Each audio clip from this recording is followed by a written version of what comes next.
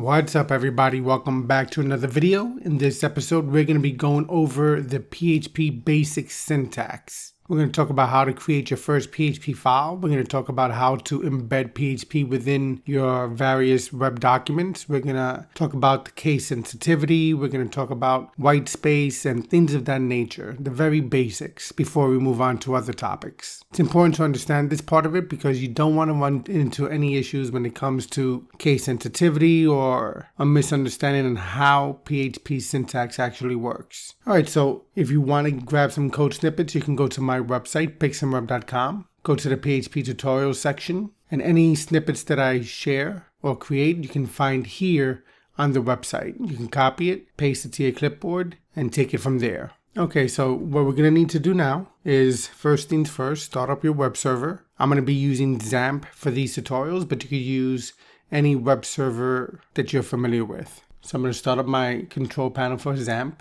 and I'm going to click start right there. Now I'm going to go to my file explorer and remember your documents and your folders are going to have to be saved within your htdocs folder. So for me, I'm on Windows. This can be found in my local disk, XAMPP folder, htdocs. So here, I'm going to create a new folder and I'm just going to call it PHP.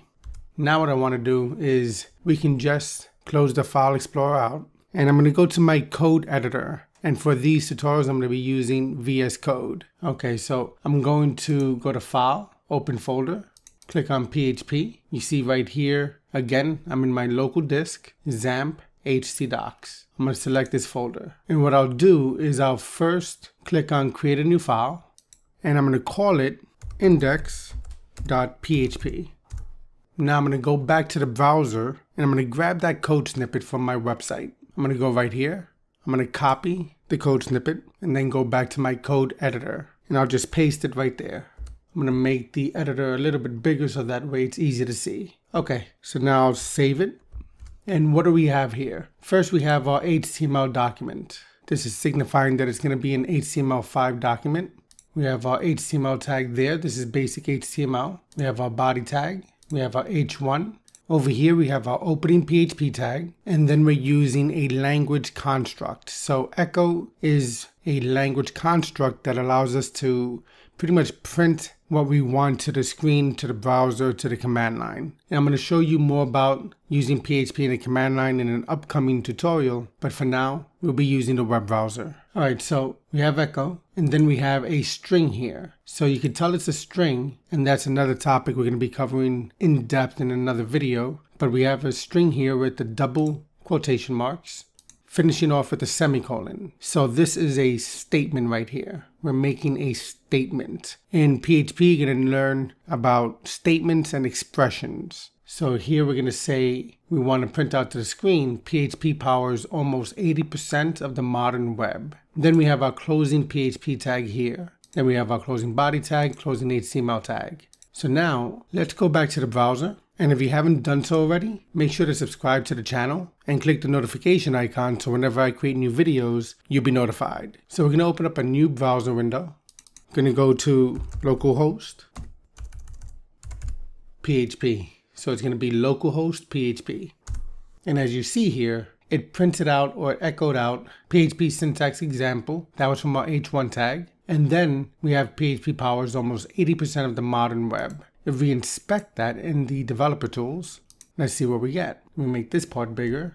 We open it up here. We see we have the string there, but we don't have the PHP tags and we don't have the echo part. PHP is processed on the server and then it just generates the results you want to send to the browser. All right, let's go back to our editor. Another thing you're going to notice is that we titled this file index.php. So the way a web server works, whether it's Apache or Nginx or most web servers, index.html or index.htm or index.php is going to be considered the root document for that particular directory structure. So if you're in the root of your website, index.php would be considered the primary document. In the browser, we didn't have to put in localhost forward slash php forward slash index.php. We just needed to put localhost forward slash php. Or if you're on a Mac, it'll be localhost colon 8888 and then forward slash php.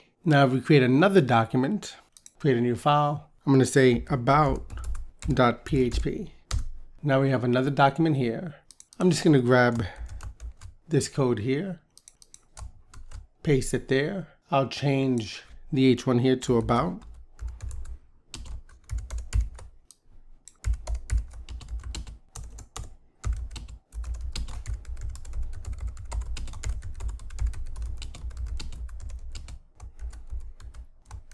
And now here we have an about.php file. We have to use the .php file extension because that's how the PHP parser and the web server will know that you have to process PHP. If you put PHP tags in a regular .html file, it's not going to work unless you change some settings in your web server, you know, to deal with the file extensions and things of that nature, which you really don't want to start doing because if you have to migrate your website, then those settings will also have to be migrated. So it's good to leave the default file extension conventions set on the web server. So with a PHP file, you need a .php extension. So now we have here PHP is the programming language for the web. All right, so we saved it. Let's go back to the browser. So here you see we have localhost forward slash PHP forward slash.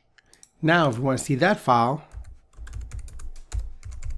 we put about.php and then we get the about PHP. PHP is the programming language for the web. And again, your PHP tags are not outputted. Now, what about case sensitivity? Let's go back to the code editor. I'm going to create a new file over here and just put test.php. Now, I'm not going to be putting in the HTML like the doctype, the HTML tags, body tags. I'm just going to put straight PHP here. So in order to do that we're going to create this PHP file that's a standalone PHP file. So we'll open up with our PHP tags in that manner, go to a new line. And now what I want to do is talk about case sensitivity. So we already saw the echo command right there, right? I'm going to use single quotation marks this time. And I'm going to say, hello world. And I'm going to put in some BR tags here and then finish that off with a semicolon. So I'm putting the BR tag there so that way it'll break to a new line and we can see if there's any difference. So is echo case sensitive? Let's find out. So I'm gonna make the next one fully caps lock or fully uppercase. I'll put in hello world again. Go to new line. Then I'll just do some craziness over here and say the same thing.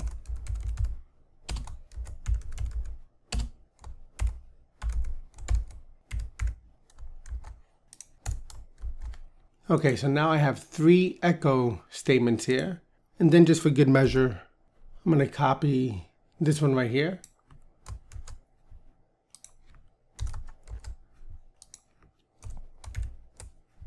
Now just make that double quotation marks. So now let's see if we get the same result. And then I'll come back and talk to you about single versus double quotation marks. Let's go back to the browser. This time, I'm going to go to test.php. And we see we have hello world printed out the same way. And you can see down here we have our BR tags. Okay, so that gave us the same result. So just a brief rundown. When it comes to the names of user-defined classes and functions, the built-in constructs and keywords like echo, while, and class, they're not case sensitive, so they're case insensitive. So that's why we got the same results. Now, variables, which we're going to talk about more in an upcoming video, those are case sensitive. So if you have the same spelling for a variable name, but in different format like lowercase name and then uppercase name and then mixed case name, they're going to be considered different variables. So that's something to keep in mind. So case sensitivity in PHP is dependent on whether or not it's a user-defined class or function or built-in construct or keyword or if it's a variable. Okay, let's go back to the editor. All right, so you saw here that I use single quotation marks and you saw here that I used double quotation marks. What's the difference? Well, basically, single quotation marks is just going to process what's inside as a regular string. So just for an example, I'm going to create a variable here. And this is going to be a very quick demonstration. And I'll go deeper into variables in an upcoming video. But I'm going to say name Joel. So now I'm going to say echo name. And then I'll do the same again with double quotation marks. Matter of fact, let me get some BR tags here.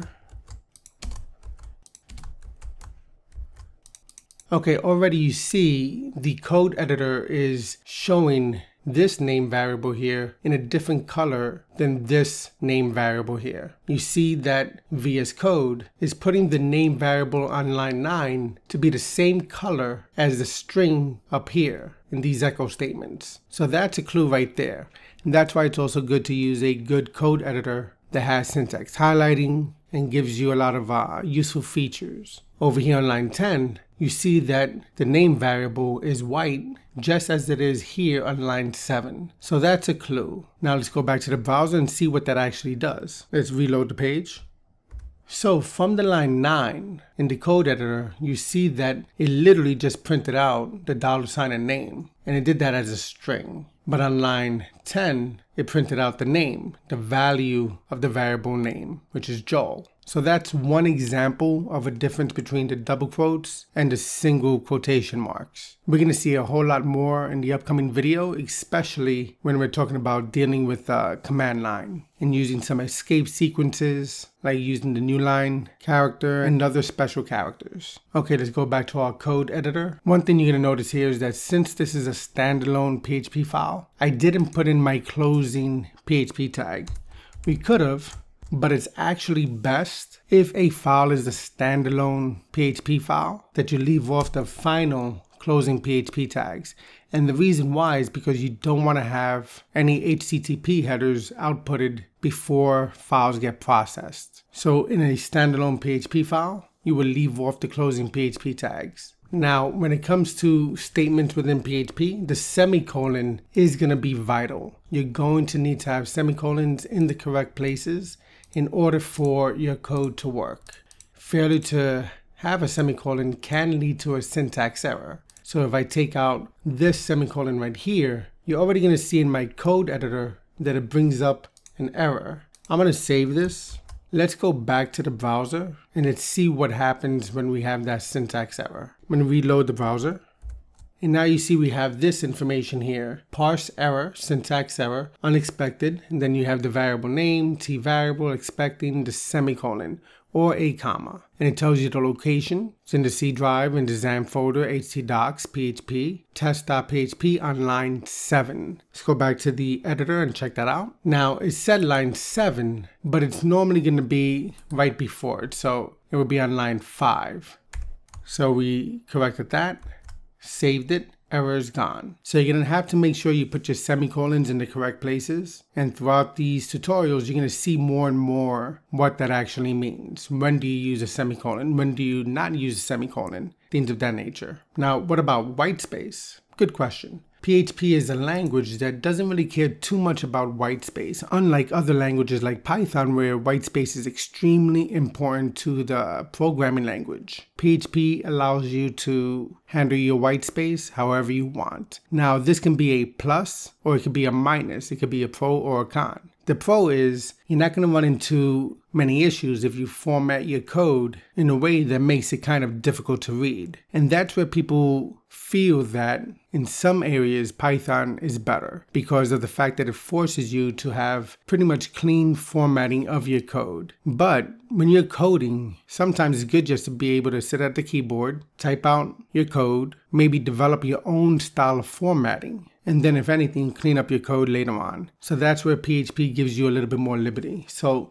let me see how this works we see we have on line 5 here we have echo we have the double quotation marks, hello world. What if I put a new line there? Let me save this, go back to the browser, let's reload, and it gets outputted the same. But now in your developer tools, you'll see that on the back end, it comes out hello, new line, world. But here in the browser, it's still together. Let's go back to the editor. What if we put that on a new line and the semicolon on the new line? Let's save that. The hint is right now you can tell that we have no current problems, right? So you know it's not going to really be an issue. Let's go back to the browser, reload. And again, the white space doesn't matter. Go back to the editor. Okay, so another example of white space. Let's say we're going to create name to assign the value of Joel. But now let's say we're going to put the name on the next line. What happens if we put the assignment operator on the next line as well? And then the closing semicolon on a new line. Let's save that. You see we don't have any problems coming up in our editor. And let's echo out name two.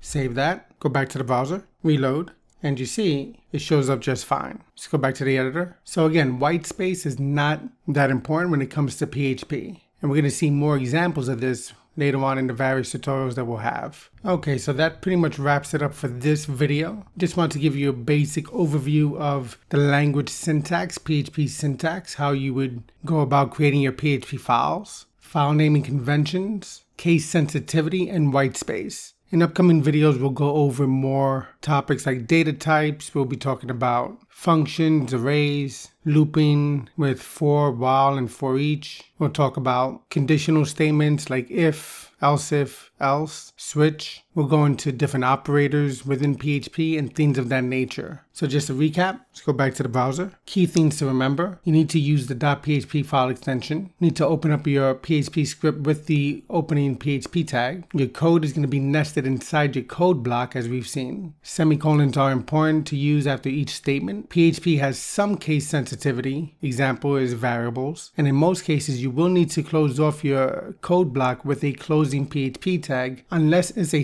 standalone PHP file, which we saw with test.php. Now, when would you use a standalone PHP file? It could be for your functions file, it could be for various classes, and we'll get more into that when we cover those topics. But again, it's good to learn how the syntax of a coding language works before you move on to more advanced topics. Okay, so if you haven't done so already, make sure you subscribe to the channel to become part of our community. Hit the notification icon. If you have any comments, leave them down below. And as always, thanks for watching, and I'll see you in the next video. Happy coding!